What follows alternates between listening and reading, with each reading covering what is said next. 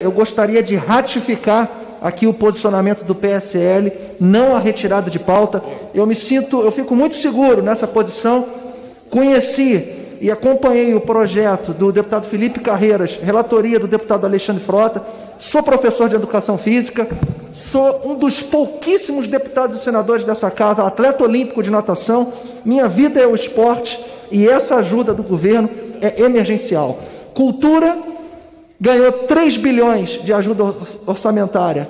O esporte clama por 1,6. O esporte é o movimento humano com maior capacidade de unir as pessoas. O esporte é suprapartidário. Essa ajuda emergencial vai ajudar o professor de educação física lá no interior do Tocantins, até as empresas e confederações, inclusive saneando a dívida dessas confederações, aumentando o prazo, porque elas estão há mais de 115 dias sem realizar eventos esportivos.